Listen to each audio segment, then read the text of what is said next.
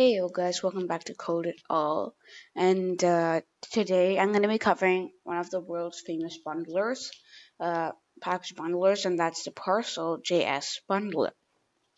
Um, so it's really helpful, really useful. I use it a lot whenever I want to bundle, say, uh, development version files into production assets, and uh, whenever, yeah, I just want to provide support for some of the languages. Oh yeah, sorry about my throat, uh, throat and all. And then um, sorry for also my inconsistency in uploading the videos. Sorry, I've been, it's just I'm just a little busy. I have exams again now, so they just started again this um, month, I guess. So uh, I'm gonna try to upload as often as I can. Okay. I'm trying to go back to my original two videos per week schedule. Okay, so I'm gonna try that. So uh, to, to go about this tutorial, you need Node.js installed. So I highly recommend you download uh, Node.js. So yeah, you can either download the long-term support version or the current version. Really doesn't matter. Um, I downloaded I downloaded the real um my actual version. I'm just gonna show. You. Sorry for that yawn. 9 p.m. Sorry, I'm. I'm not able to type. Yeah, it's 14.5.0. So, yeah, I've downloaded when this was the actual version. Okay.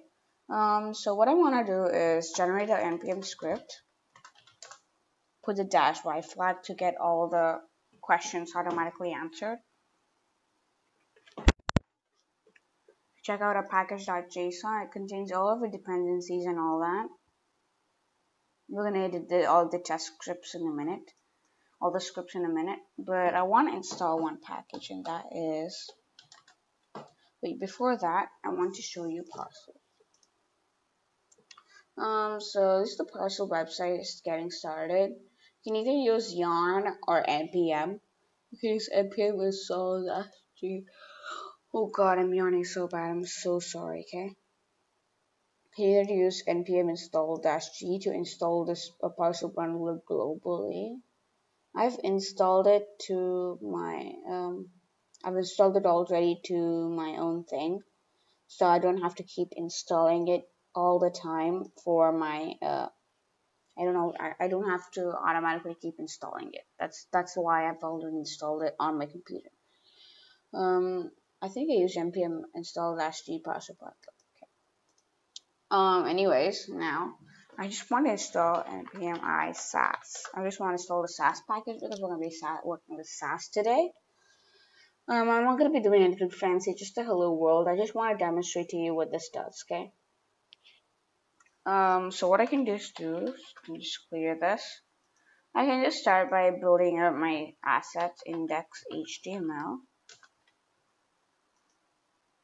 Uh, I'm gonna join Sass folder.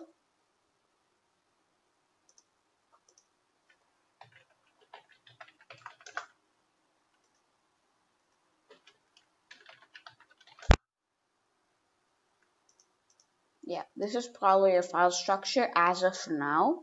And uh, in my index.html, just gonna go exclamation point tab. Here it's gonna be Parcel.js tutorial. And this is going to be H1 saying hello world. Um, so it's probably that that's it. I just want to link in my script tag here. Um, script.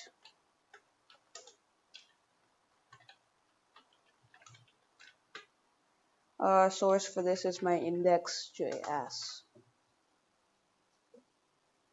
Yeah. Oh my god. I'm shooting this in five at 5.30 in the morning. Oh, okay, so in my index.js, I just want to import my Sass file.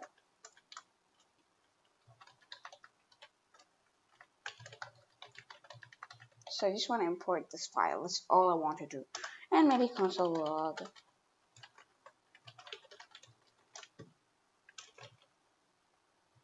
Uh, hello world.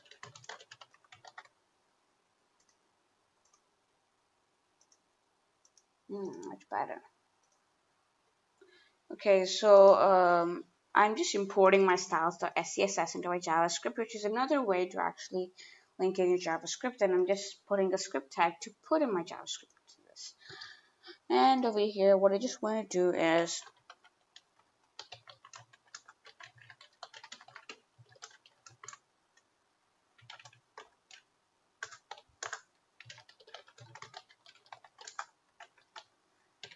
and then I'm just gonna go to my font family, just some basic styles. I already have Nunito installed on my computer locally, so I don't have to bring it from Google Fonts or whatever, but you can do that. You can put whatever font you want, it'll still work. So in my package, I, what I can do is I'm just gonna run parcel index HTML. I'm just gonna run that for a sec. So come up here any minute, wait. Uh, by the way, in the description, I'm going to include the uh, link for the Parcel.js website as well as the Sass, uh, as well as the Sass files. So obviously, I need to go in here, and we get this nice little hello world on localhost port one two three four. Uh, so you can see your Sass files being applied without having to actually compile them down to CSS because Parcel internally does that for you. Um, so I can just stop this. It'll be much better to create a script. Um, so just delete this. So you can create a development script that is parcel index HTML. And then I want to specify the output directory. Wait, do we need our output directory? I don't think so. Uh, but for this, I'm just going to give it output directory because it outputs a dist folder instead of that development. And uh, the port, I want it to be 3000 instead of 1234. And I wanted to remove the cache folder and the development folder before it actually um, compiles and opens everything up. So what I want to do is rmrf to remove a directory development. Double ampersand rmrf um, dot cache.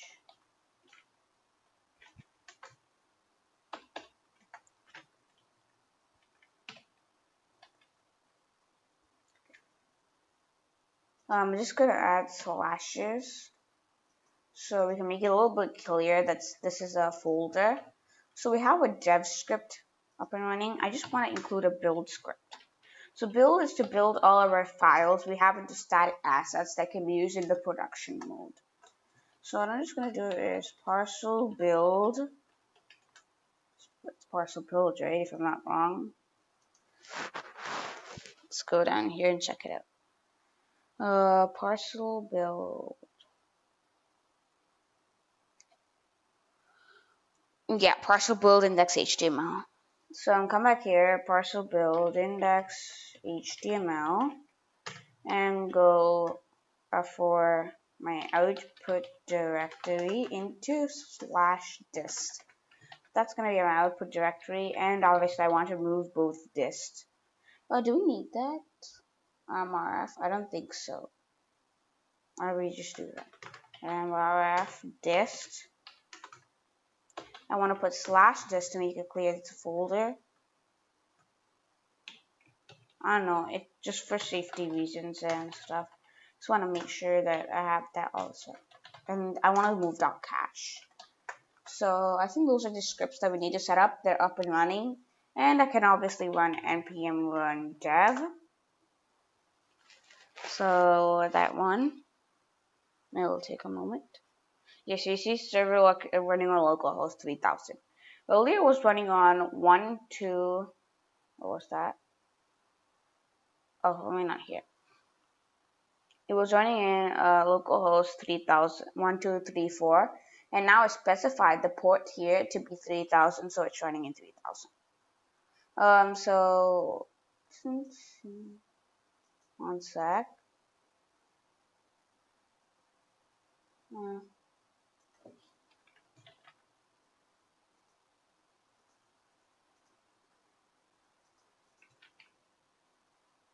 Hmm. npm run dev again because I don't see the development server, development folder. I mean, okay. Yeah, I see my development folder now. Uh, so that's basically what we have right now. And uh, when we build it, this this is eventually to go disappear. And we're to have um, a new dist created with all of our final bundle assets.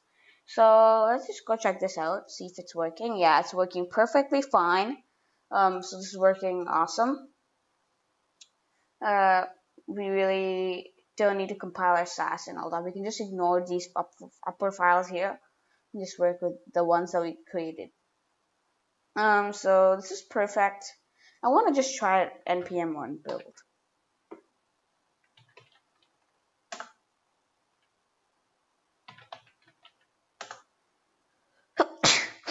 Okay, sorry uh, about that.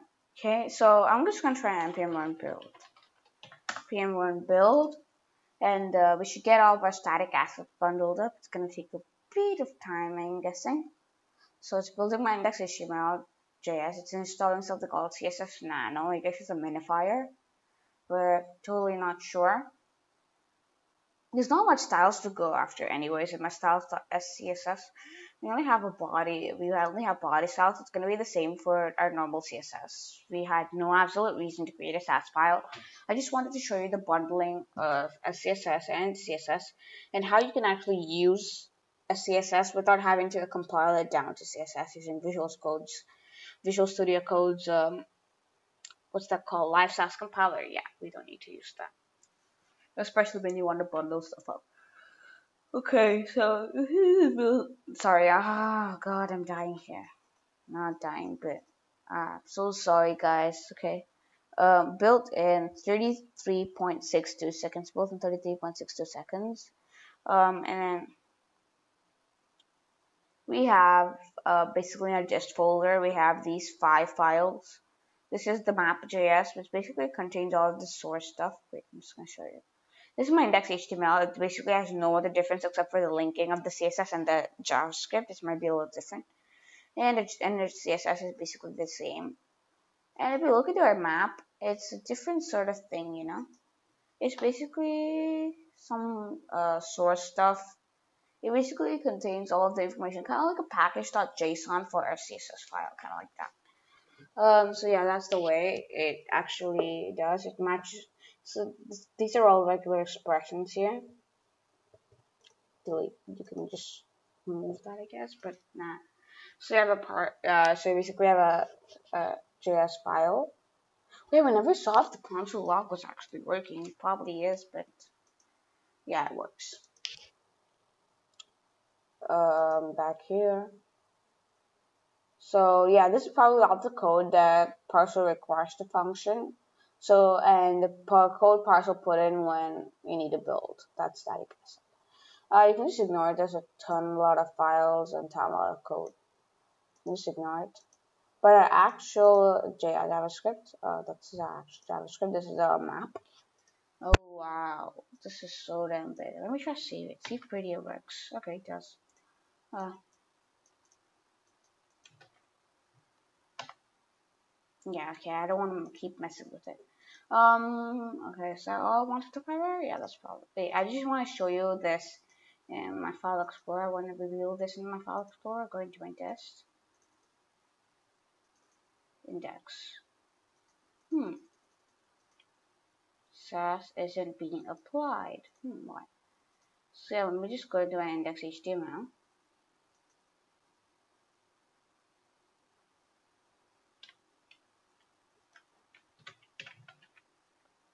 uh, partial bundle CSS. know this, yep, it works. I don't know, we just might have to tinker and save my index. We might have to just save the index HTML file again, but other than that, um, this thing just works perfectly fine. Oh god, uh, so sorry, I'm just a little sleepy, but I hope I'm still able to explain it perfectly because Uh, I just want this video to be good. I'm explaining parcel. I have had this on my reading list for a whole lot of time. I'm just hoping I'll be able to explain this concept perfectly for you guys. Hopefully, you'll be able to use it. Um, and all that. So there's no need to for you to bother over what the hell happens with your Visual Studio Code extensions. You can just use Parcel.